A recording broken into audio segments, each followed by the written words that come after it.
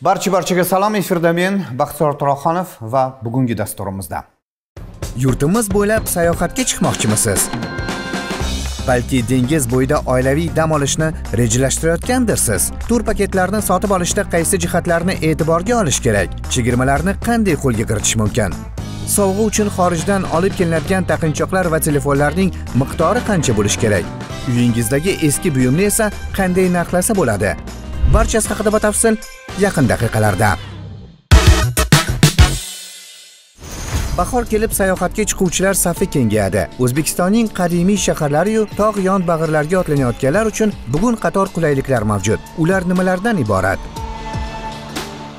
Assalomu alaykum xush kelibsiz. Mazmunli va maroqli dam olishni reja qilayotganlarni qanday yangiliklar kutmoqda xususan mana ichki turizmni rivojlantirish borasida qator loyihalar amalga oshirilmoqda. Ichki turizmda mana e, taqqoslaydigan bo'lsak statistikasini ham yigirmanchi yilda ular uch million nafar bo'lgan bo'lsa mana yil yakuni bo'yicha o'n bir milliondan oshib ichki e, turistlar soni e, aniqlangan. Demak sayohatga bo'lgan qiziqish mahalliy aholida kundan kunga ortib bormoqda. Bu birinchi o'rinda sharoitlar yaratilayotgan mana davlatimiz tarafidan hukumatimiz tarafidan bayramlar kunini oshirib berish. Ya'ni shu kunlarda oilaviy sayohatlarga chiqish manimcha bu ichki turizmni rivojlanishi uchun ham asosiy omil bo'lmoqda. Eng e, ommabop yo'nalishlar qanaqa? Eng ommabop albatta bizni shu uchta juda yam go'zal maskanimiz bor. O'zingiz bilasiz bu xorazm xiva shahri buxoro samarqand shaharlarimiz.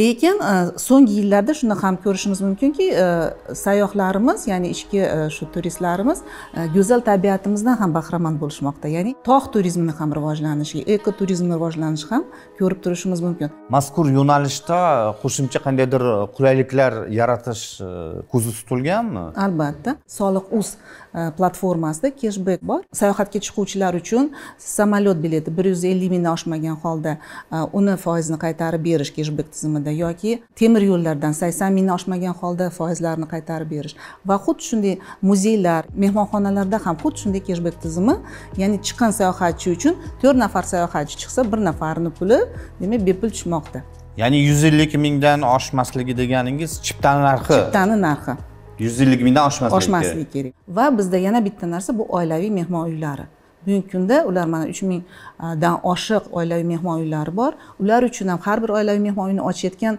insonlar uchun ham ma'lum imtiyozlar berilmoqda endi oilaviy e, mehmon uylari anchayin qulay. Afzal tomoni ayniqsa mana xorijiy turistlar nuqtai nazaridan oladigan bo'lsak ularga zamonaviy mehmonxona bilan e, o'ziga yarasha autentik Э, ravishda bezatilgan oilaviy mehmonxona taklif qiladigan bo'lsangiz ko'pincha hollarda ikkinchisini tanlashadi. Chunki u bevosita mahalliy aholi bilan mahalliy aholini hayoti odatlari bilan bog'liqlik o'rnatish uni bir parchasi bo'lish his qilishga imkon yaratadi. Yigirma ikkinchi yil mana o'n to'qqizinchi sentyabrda yirik bir yig'ilish bo'lgan edi davlat rahbarimiz boshchiliklarida turizm biznesini markaziy shaharlardan ya'ni ichkari hududlarga olis hududlarga qishloq joylarga yoki nisbatan uzoq hududlarga kirib borishi masalasi ham juda ko'tarildi va bu bo'yicha qilinadigan ishlar belgilangan. O'shanda keyingi uch yil davomida bir qator soliqlar e, bir foiz etib belgilandi. Misol uchun bir yuz o'ttiz beshga yaqin adashmasam qishloq mahallalar o'sha turizm qishlog'i yoki turizm mahallasi turizm ko'chasi maqomida rivojlantirish belgilandi. Ichki turizm bilan bir qatorda bugungi kunda e, xorijda dam olishni istagan yurtdoshlarimiz uchun ham mm, qator imkoniyatlar taqdim etilmoqda. Yo'nalishlar kengayib boryapti. Albatta.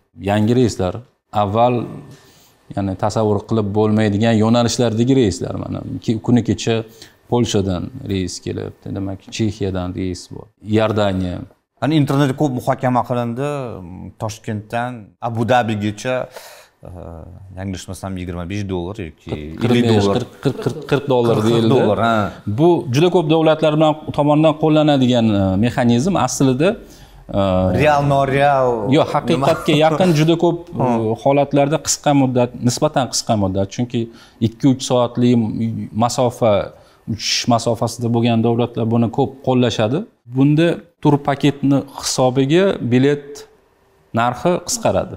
Ayniqsa pandemiyadan keyin hozir hamma sekin sekin bozorni ochib boryapti.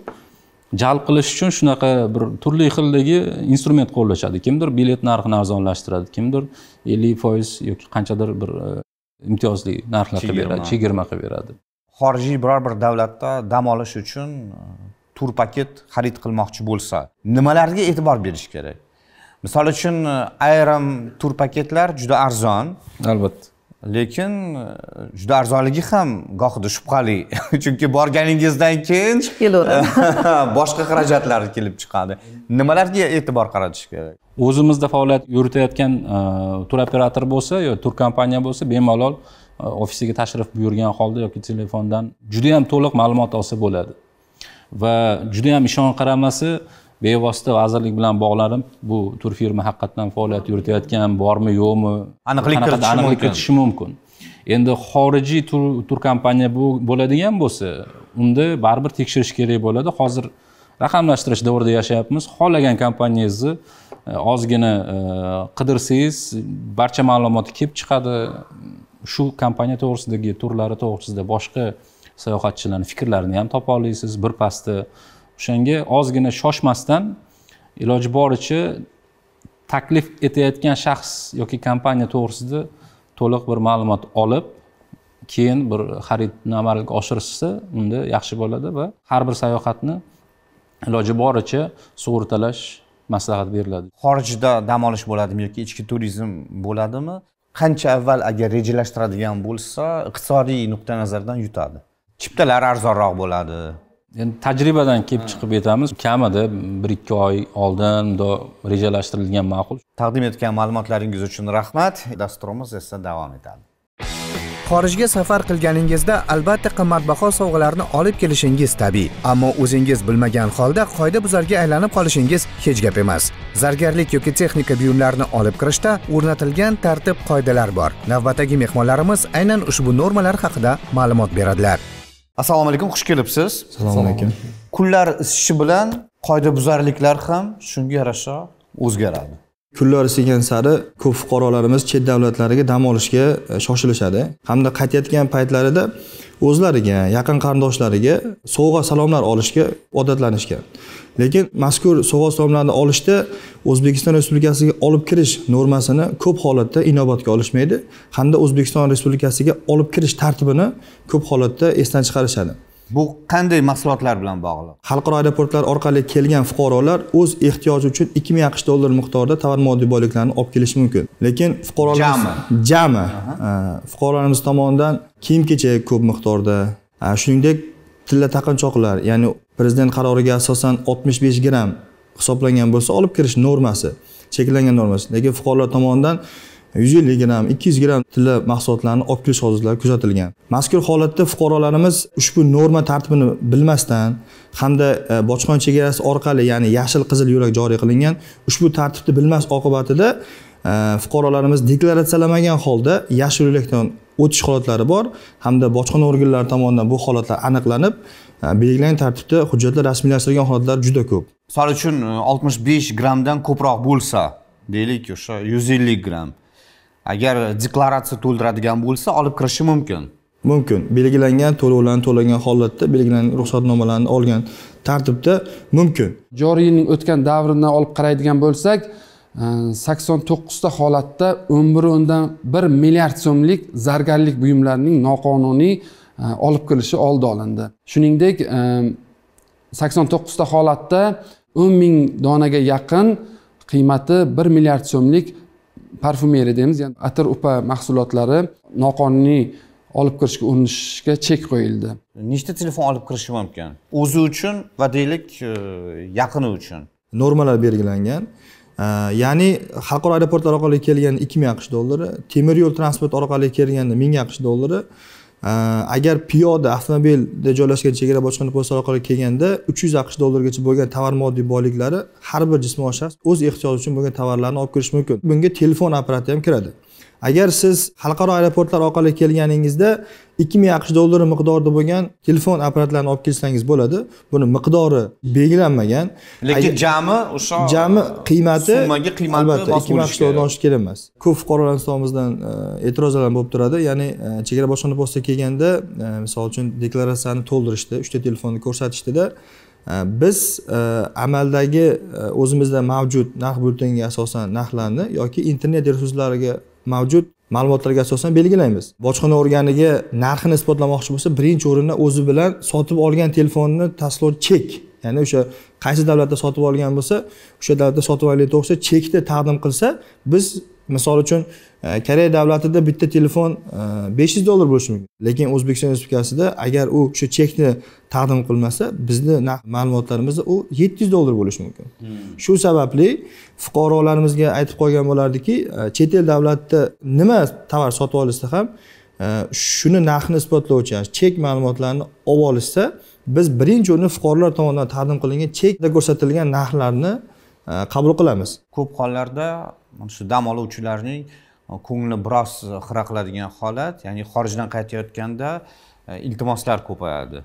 Iltimos bagajimni o'zingiz bilan birga olib keting va hokazo va hokazo. Ko'ngilchanlik deymizmi yoki bir manfaat topaman deb turib fuqarolarimiz olishadida o'zbekiston respublikasi kelishgan paytda bojxona organi tomonidan tekshirilganda ichidan o'zbekiston respublikasi olib kirish taqiqlangan giyohvandlik vositalari kuchli ta'sir qiluvchi psixotrop tabletkalari aniqlangan holatlari juda ham ko'p. Shuning uchun ham e, aytib qolardikki chet davlatiga dam olishgami biror xizmat ish bilan borishganda fuqarolar tomonidan taklif qilingan bagajlarni olmaslikka olgan taqdirda ham ichidagini tekshirib olishni maslahat bergan ko'rib ishonch hosil qilib agar o'sha biror bir buyumni olib kirayotgan bo'lsa buyumning egasi emas olib kirayotgan odam albatta. xuddi shunday. Chegara bojxona post xodimlari va kontrabandaga qarshi kurash boshqarmasi va uning hududiy E, bo'limlari tomonidan juda ko'p holatlar aniqlangan. Misol uchun e, joriy yilning o'n ikkinchi yanvar kuni e, toshkent viloyati bojxona boshqarmasining g'ishtko'prik chegara bojxona postida o'tkazilgan bojxona nazorati davomida post orqali harakatlangan uch nafar bizni tilimizda tashmachi ayollarga bizning hududimizda turgan fuqarolar tomonidan ellikdan ortiq iphone rusumli qimmatbaho yangi uyali aloqa vositalarini tarqatib olib o'tib e, post hududida o'tgandan keyin e, yig'ib olinayotgan holatlar aniqlanib mazkur holat bo'yicha tegishli e, protsessual hujjatlar rasmiylashtirilgan. Dam olish uchun xorijga ketayotgan fuqarolar nimalarga e'tibor berishi kerak? Xorijga chiqayotgan fuqarolar birinchi navbatda o'zbekiston qonunchiligi va qaysi davlatga ketayotgan bo'lsa o'sha davlatning qonunchiligi bilan xabardor bo'lishlari kerak. Ko'pincha qanday vaziyatlarga duch keladi? Ya'ni kutilmagan. Qonunchilikni bilmasligi e, bu javobgarlikdan ozod qilmaydi. Bizni mana e, bojxonamizni e, uchta w customs nuqta uz saytida bu haqida barcha ma'lumotlar berilgan ya'ni olib kirish mumkin bo'lgan olib chiqish ham mumkin bo'lgan va mumkin bo'lmagan cheklovlar bor. Me'yorlari aniq belgilab qo'yilgan. Bugungi kunda ellikdan ortiq chegara bojxona postlarimiz bor. Xalqaro aeroportlar zallarida ham axborot axborot e, hududlarimiz tashkil qilingan bo'lib o'sha monitorlarda kechayu kunduz tovarlarni bojxona chegarasidan olib o'tish normalari miqdorlari to'g'risida ma'lumotlar berib boriladi. Taqdim etgan ma'lumotlaringiz uchun rahmat. Uyingizdagi eski buyumlarga e'tiborli bo'ling balki ular bebahodir buni madaniy meros agentligining milliy meros uz sayti orqali aniqlasa bo'ladi. Agar mutaxassislarga ma'qul kelsa va narxini kelisha olsangiz bisotingizdagi oddiy lagan muzey eksponatiga aylanadi. Assalomu alaykum xush kelibsiz.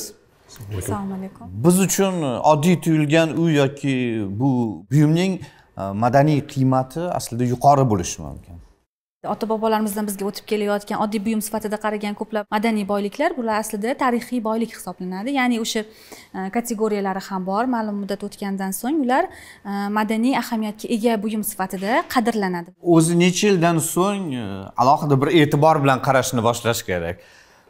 Deylik uyimizdagi chiroyli bir laganga endi e, davlatimiz qonunchiligi bo'yicha ellik yil chegarasi bor. Masalan ellik yil to'lgan madaniy boyliklar o'zbekiston respublikasi hududidan olib chiqilishi man etilgan. Ya'ni ellik yildan oshsa. Oshsa. Lekin e, muzeylarga xarid e, qilish masalasida ikki ming yigirma ikkinchi yil birinchi iyuldan boshlab e'lon qilindi. Milliy merosga mening sam o'n xalq aksiyasi o'sha aksiyasi doirasida davlat muzeylariga yuksak badiiy qiymatga ega bo'lgan shu jumladan mustaqillik yillarida yaratilgan tasviriy va amaliy san'at asarlari xarid qilinadi. Misol uchun ijodkorlar taqdim etishi mumkin. Xuddi shunday hozir yana aholiga qulaylik bo'lishi uchun yana dastur ishlab chiqildi internet orqali milliy merosga mening hissam aksiyasi doirasida milliy meros nuqta uz sayti o'sha sayt orqali odamlar kirib muzeyga topshirmoqchi bo'lgan yoki sotmoqchi bo'lgan ashyoni ro'yxatga qo'yib rasmlari ularda mavjud ma'lumotlarni kiritib madaniy meros agentligiga saytiga joylashtiradi. Bundan chiqdi aynan o'sha buyum yoshi ellik yildan oshishi shart emas. Yo'q mustaqillik yillarida yaratilgan bo'lishi ham mumkin. Tasviriy san'at bo'lishi mumkin amaliy san'at buyumlari bo'lishi mumkin. Bular hammasi madaniy boylik hisoblanadi. Ya'ni dastlab arizalar qabul qilinadi va ekspertlar guruhi ko'rikdan o'tkazadi. chiqadi uni va auksion tashkil etiladi va u baholanadi o'sha. Yoki baholanadi yoki ko'pincha dastlab saralangandan so'ng. saralangandan so'ng. Ana biz statistik ma'lumotlarga to'xtaladigan bo'lsak o'tgan yil davomida aksariyat ya'ni to'qson foizga yaqin qismi beg'araz e, topshirildi. Sovg'a sifatida taqdim etildi. Masalan bitta misol aytishim mumkin. Samarqandda o'sha sakla davriga oid qozon. Lekin aholi uni bilgan qadimiyligini va aynan mana shu aksiya joriy qilingandan so'ng ular samarqand davlat muzey qo'riqxonasi xodimlari tomonidan borib o'sha e, ikki ming yillik tarixga ega bo'lgan qozon o'sha muzeyga xarid qilindi. Misol uchun deylik biror bir buyumni men topshirdim ya'ni buyum haqida ma'lumot berdim. U endi ma'qul keldi. Keyin buyumni olib borishim kerak. Albatta. Ya'ni ekspertlar ko'rishi uchun to'g'rimi? Va baholashi uchun. madaniy boylik agar ko'p hajmda bo'l- bo'lsa yoki olib borish e, masalasi qiyinroq bo'ladigan bo'lsa unda e, mutaxassislar joyiga borib joyida o'rganiladi. Mutaxassislar baholadi. Deylik qiymati mana shuncha so'm bo'ladi deb aytdi. Keyin e, fikrdan qaytib qolishi mumkinmi yo'q shunaqa qimmatbaho narsa ekan. Endi fuqaro mana madaniy boylikni topshirishda o'zi bahoni belgilaydi. Keyin ekspertlar bu realmi yoki real emasmi xuddi shunday.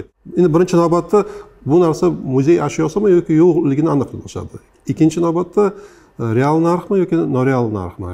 Noreal bo'ladigan bo'lsa u- ular real narxni belgilaydiyu fuqaroga xabardor qiladi. Agar fuqaro shunga rozi bo'ladigan bo'lsa u bilan shartnoma imzolanadi. Agar u narx sizni qoniqtirmasa sotmaslik o'zingizda qaytarib olishingiz mumkin. Hozirga qadar jumladan qanday buyumlar e, xarid qilindi xarid qilinganlar tasviriy san'at asarlari amaliy san'at asarlari xarid qilindi. Ikki ming yigirma ikkinchi yilni dekabr oyida samarqand davlat muzey qo'riqxonasida ko'rgazma tashkil etildi va aytishimiz mumkin mana shu aholidan xarid qilib olingan buyumlar orasida e, qoraqalpog'iston respublikasida qur'oni karimning qadimiy nusxasi bu beg'araz topshirildi va ana o'sha saklar e, davriga oid bo'lgan e, qozon ya'ni ikki ming yillik qozon bundan tashqari miltiq yoki ko'za shunga o'xshagan va asosan o'sha tasviriy san'at asarlari aholidan xarid qilib olindi. Aksiya qachongacha davom etadi? Bu doimiy bo'ladigan aksiya ya'ni o'sha ikki yigirma ikkinchi yil birinchi iyuldan boshlandi va bu muntazam ravishda tashkil etiladigan aksiya va mana shu aksiya doirasida har yili dekabr oyida an'anaviy ravishda mana shu aholi tomonidan yig'ib olingan buyumlarning ko'rgazmasi tashkil etilishi belgilab olindi va birinchi ko'rgazma o'sha ikki ming yigirma ikkinchi yil bo'lib o'tdi. Mana bu haqida xabar topgan tomoshabinlar uydagi qaysi buyumlarga e'tibor qaratish kerak? Qaysi buyumlar ko'proq qiziqish uyg'otadi? Agar o'sha hunarmandlar yoki bo'lmasam san'at ustalari bo'ladigan bo'lsa o'zlarining eng noyob san'at asarlari yoki e, hunarmandlarning eng noyob bo'lgan mahsulotlari aynan qadrlanadi va bundan tashqari o'sha aholida bo'ladigan bo'lsa uy joylar ko'pchilikda o'sha ota bobosidan qolgan qadimiy buyumlar bor. Hattoki necha yillik tarixga ega ekanligini ham bilmagan holda ro'zg'orda foydalanib kelayotgan bo'lishi ham mumkin. Va ana o'sha buyumlarni o'sha e, joylardagi muzeylarga ekspertlariga e, ma'lum qilsa o'rganishadi tekshirishadi va ahamiyatli deb topilsa bu buyumlar albatta aksiyada ishtirok etish uchun taqdim etilishi mumkin. Onlayn bo'lganligi anchayin qulayliklar ha avval yana bundan tashqari ha avval u 15 kunda ko'rib chiqilgan bo'lsa yuborilgan arizalar mana shu platforma orqali hozirgi kunda bu muddat 5 kungacha qisqartirildi. Taqdim etgan ma'lumotlaringiz uchun rahmat. Ertaga aynan shu vaqtda yana uchrashguncha oqshomingiz xayrli bo'lsin